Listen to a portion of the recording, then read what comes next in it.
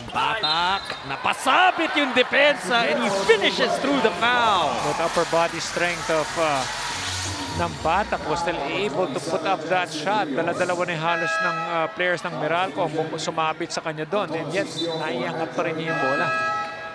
So tuloy pa rin oh, yung ganda ng laro ni Stockton. Again, career high 18 points nung kalaban nila yung TNT. Ng batak draws the foul and finishes through it. Hindi niya pinahiya yung kanyang teammate Ron samantala on that strong penetration. That is the strong hand of Reynam Batak who was able to go to his left. Ng batak nakakuha ng jump ball. Ray flips it up and in.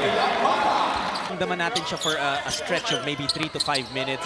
Pero mawawala for a bit. Only to come back later on as the batak gets to the basket and finishes. Up by as many as uh, 18 points only to lose steam in the second half. They allowed TNT to score 44 in the third quarter. At doon na, tuloy-tuloy yung kanilang pagbagsak. Samantala itong si Reynam Batak. Take another look at this end one opportunity from Stingray.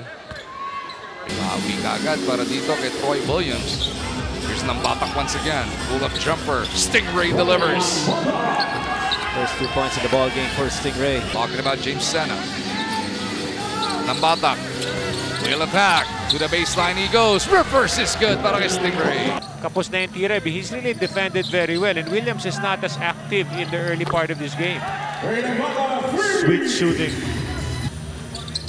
Pagkarga ng baby na lang yan. Ray ng Batak. Clearing the defense. Crosshair bigla yung ring eh. Mas madaling nakuha kagad ni Paul yung mga shooting niya after tinamaan. Hindi dumami raw yung nakikita yung ring coach eh. I know you're What asking a for a traveling violation but the start of the third quarter na. So, we're wondering if there's something na baka nararamdaman siya. Ito naman, si Ray ng Batak ay maaga na pinasok. It's gonna be the third on Big Bow. Ito si Nambatak, he was responsible for the first five points. Lead of Bedlings is 22, make that 19 after Nambatak hits a three. Medyo awkward yung pagbagsak niya but take a look at this first, the three-pointer. Wala kay Nambatak. Yung tres niya will not go, pati yung putback ni Big Bo. Nambatak! Oh, he gets that to fall in! Nambatak now with 19 points in total. You know, what a comeback it has been para sa Rain Shine. And this man at the forefront of it. Ng Batak atake. Basket is good. Chance for a three-point play. Actually, when they need it most. Well, prior to that basket, 11 to 4 run. Uh, itong uh, Phoenix off that timeout.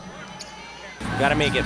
They gotta make this. Well, the Muses has certainly gotten some brownie points. Diba? In this game. Oh, for sure. 36.7, 4-point. Napakaraming oras pa niyan. Takti rin. And nobody helping out there. Notice that time Maxwell just, that was token defense. They go to Nambatak who splits two defenders. How about that? What a move, Mago. That head and shoulder fake threw off everyone. Look at it right here. After that head and shoulder fake, he pushed that ball in between the two defenders. Kala mo pakaliwa na eh. Biglang ininguso eh, no?